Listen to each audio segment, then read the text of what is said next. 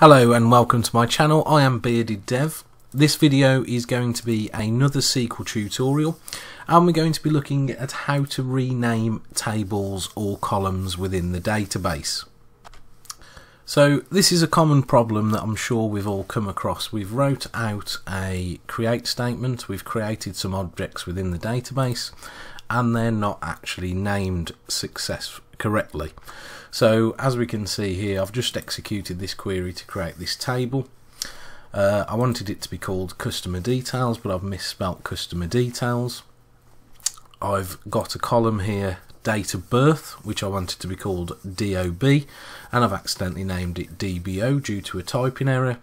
And I've also got a primary key constraint here, uh, which will generate a clustered index for the table and I've missed the E out of customer there.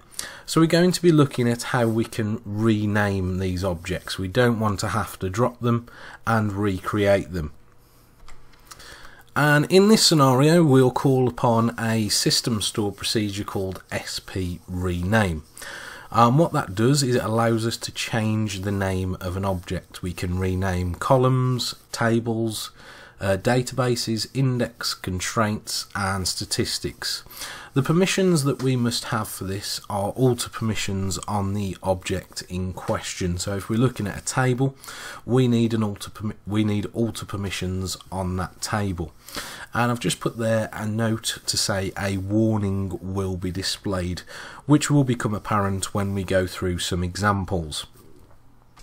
We're back in SQL Server now and we're going to begin with the table because the table is the most simple syntax. I'll just touch upon what I mean by system stored procedure. So if I open up our system databases, open master, open programmability, stored procedures and then system stored procedures these are all the stored procedures that are built into SQL Server that we can take advantage of. Now, admittedly, most of these you probably won't use within your lifetime of working with SQL Server. There is a massive amount of stored procedures within here.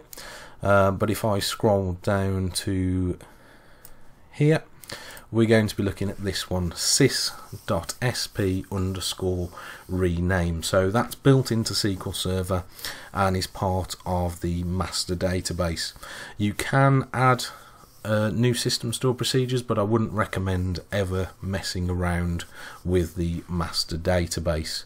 And if you do make any changes to it make sure you always back it up first of all I've now opened up the table names for the bookshop database so we can see in there our table has been created with the incorrect name and we want to address that.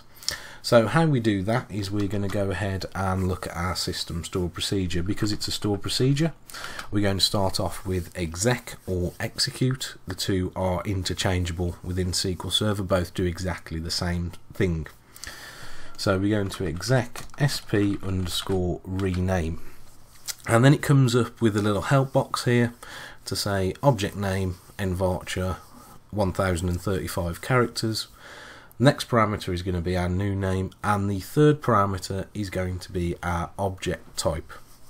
So we'll start off initially with our object type we're going to look at and in this case it's going to be our customer details table but we must also give the schema name. So in this case we're not using schemas within this database so it's just DBO database object. And then we put in the existing name of our table.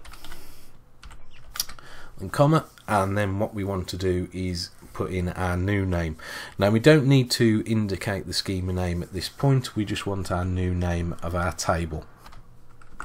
And that is simply going to be customer details spelt correctly. Now what you'll notice about working with, sorry, renaming tables is that we don't actually have to indicate the object type. So this store procedure by default goes to the parameter of table. So we're going to go ahead and highlight this statement here and execute that. and you'll see that how as I mentioned in the introduction to this video we'll be given a warning and this warning is really relevant well it's a caution actually so changing any part of an object name could break scripts and store procedures which makes sense so if we've got any other objects such as store procedures created that reference this table and it references the table with the incorrect name we will need to go and amend all those references. It's a good idea if you spot a mistake to change this as soon as possible. Otherwise you will end up there's too many objects created that reference this table. You can't go back and change it in all areas. Well you could but it would be a lot of work. And I'm sure all of us within our work lives haven't got the time to do that because there's no benefit other than really readability so it's always better to make sure it's correctly named in the first place so we've executed that query now. I'm just going to refresh our table list under the bookshop database and we can see there we've got our customer details table named correctly. Now if I have a look at the columns within that table we can see our next problem is our should be DOB column but it's accidentally called DBO. So again we're going to go ahead and write I'll just write this as a separate statement. So again, exec sp underscore rename. And in this case, we can now refer to our new table name. So that's already been changed. So we're going to say DBO. Again, we start with the schema name. Then we want our table name, which is the parent object in this case. Customer details dot DBO and then we're going to go ahead and just give our new column name which is DOB again we don't need to put the schema or the parent object name. But then we need our third parameter which is going to be column. I'll go ahead and highlight just this individual query now and execute that. Again we displayed the same warning message. I'll just press Ctrl R to remove the results grid. And I'm going to refresh the columns and we can see there our DOB column is named as we expected. We're going to have a little bonus as part of this video where we're going to be looking at this primary key clustered index we've created. So although the title of the video is tables and columns, we're going to look at other objects as well. So if I just minimize the columns list for this table and open up indexes, we can see here we've got our E missing from our customer index. So we're going to go ahead and address that. And again, as before, we're going to write out exec sp underscore rename. And in this case, it's going to be dbo customer details dot pk underscore customer without the e underscore cust underscore id comma. And we're going to rename this to PK customer. I'll just scroll down the page.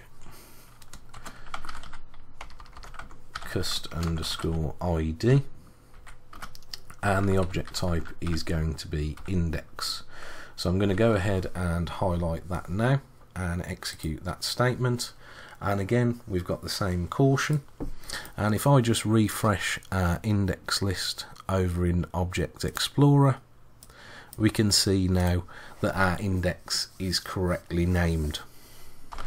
I hope you have enjoyed that video. Uh, so it's a problem we come across all the time. We're not perfect, we do misspell things. So that is one way we can rename objects in the database do check out my other videos on the channel. If you haven't already, do subscribe as well and hit that notification button to be made aware of when I do upload videos. Let me know your thoughts in the comments below and thanks a lot for watching.